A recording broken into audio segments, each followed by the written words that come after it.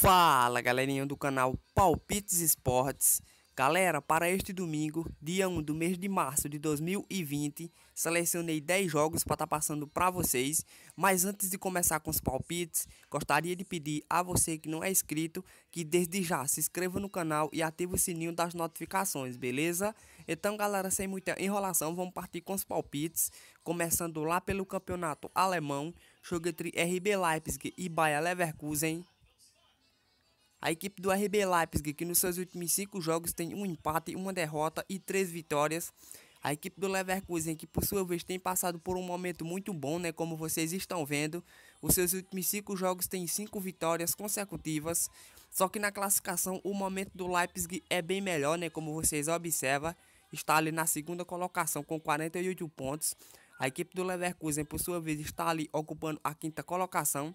E essa equipe do RB Leipzig é o favorito porque joga com apoio total de seu torcedor, né? Tem um melhor time tecnicamente. Partida em que podemos estar tá colocando RB Leipzig para vencer jogando casa. Tá com medo de uma possível zebra, vai jogo de ambas equipes marca, já que essas duas equipes aí tanto tem feito gol como também tem levado, tá certo? Pulamos agora para Campeonato Francês, Liga 1, 27 rodada, jogo entre Olympique de Lyon e Saint-Étienne. A equipe do Olympique de Lyon, que nos seus últimos 5 jogos tem um empate, uma derrota e 3 boas vitórias. A equipe do Saint-Étienne, que nos seus últimos 5 jogos tem um empate, uma vitória e 3 derrotas, né? Na classificação do campeonato, a equipe do Lyon está ocupando a sétima colocação. A equipe de Santa Etienne, por sua vez, está ali na 15ª colocação, né, na parte de baixo.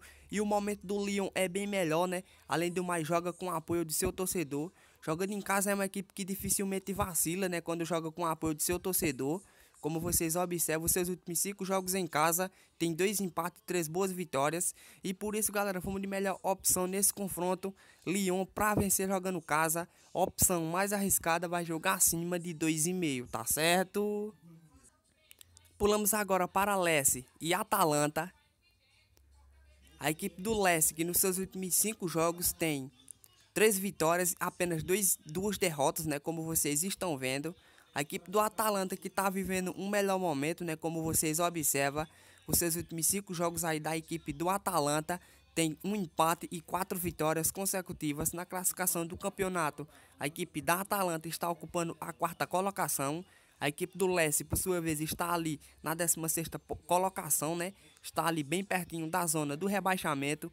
Mesmo fora de casa, a equipe do Atalanta é favorita a vencer o confronto, né? Porque está mais bem colocado na tabela. Em questão de time, tem um bom time, né? É um time aí bem melhor que essa equipe do Leste. E nesse confronto, a equipe do Atalanta, com certeza, deverá vencer, né? Com certeza vai partir para cima porque está ocupando a quarta colocação do campeonato partida em que podemos estar colocando a Atalanta para vencer jogando fora de casa, uma opção um pouco mais arriscada vai jogo de ambas equipes marca, já que os últimos cinco jogos da equipe do Atalanta, todos os cinco bateu ambas equipes marca, tá certo? Pulamos agora para Campeonato Belga, Liga Jupiler, 28ª rodada, jogo entre Secler Bruges e Ghent, a equipe do Cercle Bruges, que nos seus últimos cinco jogos tem duas derrotas e três boas vitórias, né? A equipe do Gente, que nos seus últimos cinco jogos tem dois empates, duas vitórias, apenas uma derrota. Na classificação do campeonato, a equipe do Gente está ocupando a segunda colocação, né? Como vocês estão observando. Essa equipe aí, galera, do Cerclerburg está ali na parte de baixo, né? Ou seja, é o 15º colocado.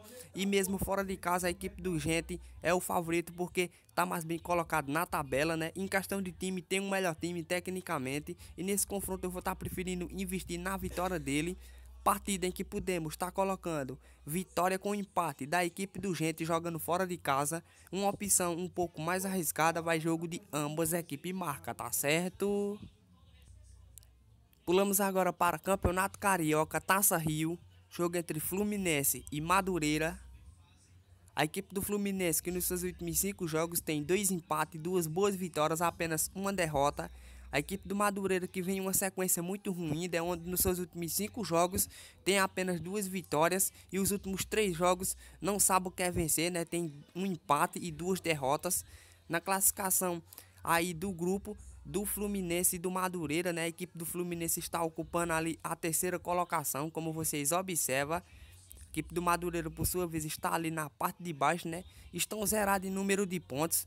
E o favoritismo total é para a equipe do Fluminense, porque joga com o apoio do seu torcedor, né? Jogando em casa é uma equipe que dificilmente perde, como vocês observam. Os seus últimos cinco jogos em casa tem um empate, duas boas vitórias, apenas duas derrotas.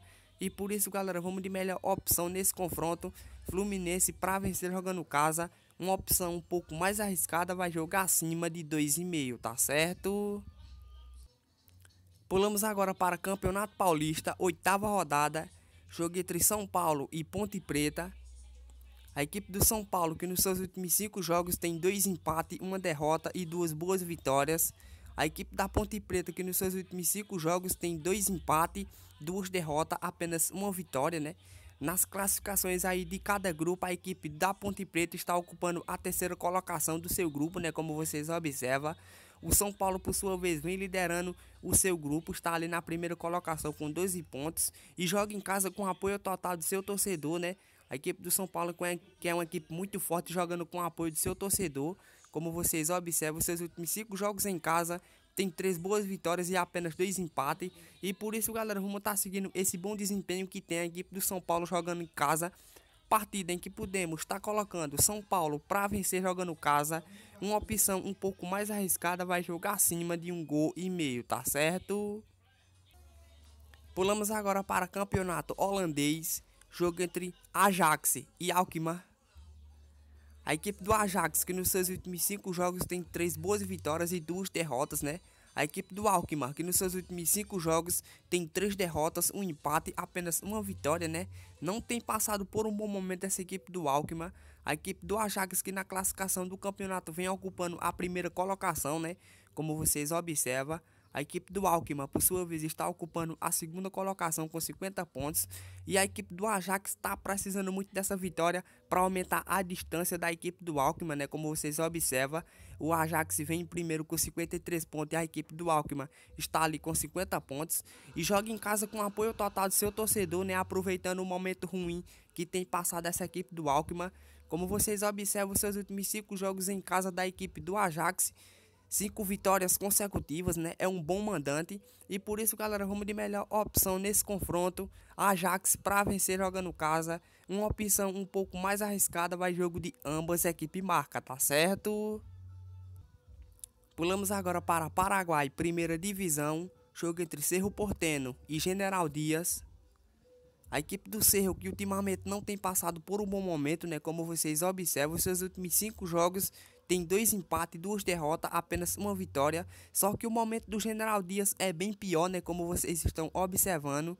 Os seus últimos cinco jogos têm quatro derrotas, apenas um empate. Na classificação do campeonato, a equipe do Cerro, mesmo não estando numa fase tão boa, né, ainda está ocupando a quarta colocação.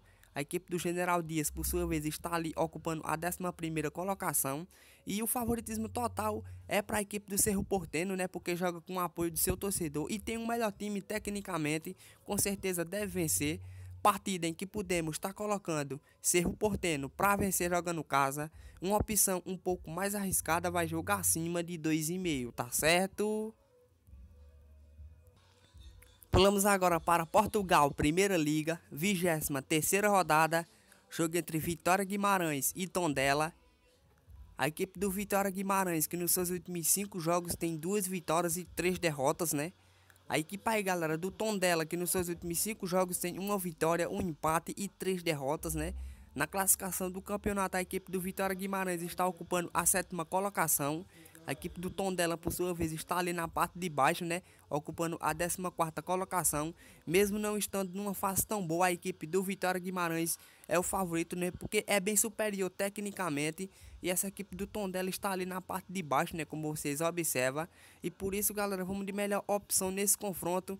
Vitória Guimarães para vencer jogando casa. Uma opção um pouco mais arriscada vai jogo de ambas equipes marca, tá certo? Pulamos agora para a Turquia Superliga, 24 rodada, jogo entre Galatasaray e Gençlerbirliği. A equipe do Galatasaray, que nos seus últimos cinco jogos tem apenas uma derrota e quatro boas vitórias consecutivas. A equipe do Gençlerbirliği, que nos seus últimos cinco jogos tem duas derrotas e três boas vitórias, né? Na classificação do campeonato, a equipe do Galatasaray tem passado por um bom momento está ocupando a terceira colocação. A equipe do Gençlerbirliği, que está ali na décima colocação, né? E pega essa equipe aí, galera, que não é nada mais nada menos que uma das melhores equipes do campeonato, né? Como vocês observam, o Galatasaray é um bom time, principalmente jogando com o apoio do seu torcedor, como vocês observam seus últimos cinco jogos em casa, cinco vitórias consecutivas. Essa equipe do Genkerblige que jogando fora de casa vem muito mal, como vocês observam. Os seus últimos cinco jogos jogando fora tem quatro derrotas, apenas uma vitória. E por isso, galera, vamos de melhor opção nesse confronto. Galatasaray para vencer jogando casa. Uma opção um pouco mais arriscada vai jogar acima de 2,5, tá certo? Então é isso, galera. O vídeo de hoje foi esse. Espero que vocês tenham gostado. Você que está assistindo o vídeo agora e não é inscrito, se inscreva no canal, tá certo? Ative o sininho das notificações. E se você gostou do vídeo, galera, deixa o like para fortalecer o canal que aqui é palpites diário todos os dias, tá certo? Então é isso, eu vou ficando por aqui, fiquei todos com Deus e fui!